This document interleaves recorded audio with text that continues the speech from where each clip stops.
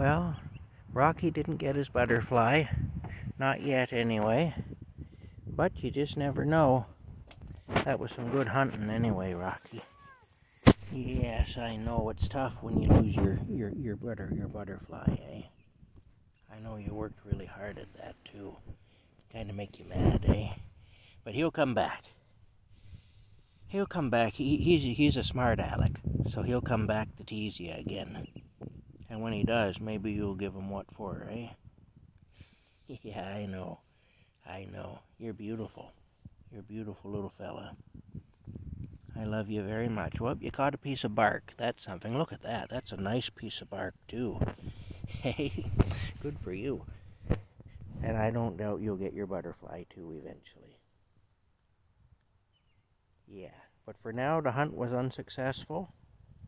But that doesn't mean that you won't be successful later.